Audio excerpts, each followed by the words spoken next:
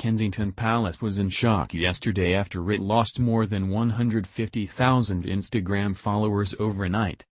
Mirror Online reported the royals page now has 7.1 million followers, much fewer than it had before the start of the night.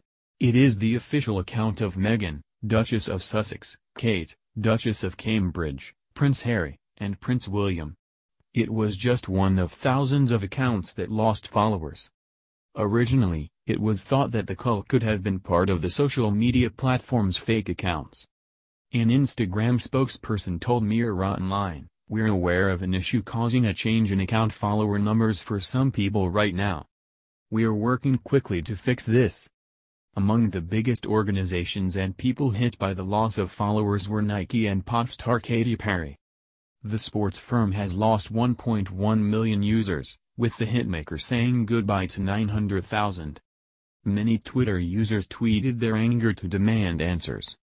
One user tweeted, I just lost over 200 Instagram followers and I'm not really sure why. I'm so confused and upset. In November, Instagram said in a blog that it would be taking action to try and stop fake accounts being used to boost numbers. The blog said, We've built machine learning tools to help identify accounts that use these services and remove the inauthentic activity.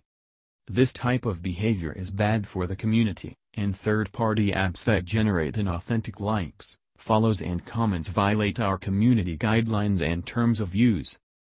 The firm added, since the early days of Instagram, we have auto-detected and removed fake accounts to protect our community.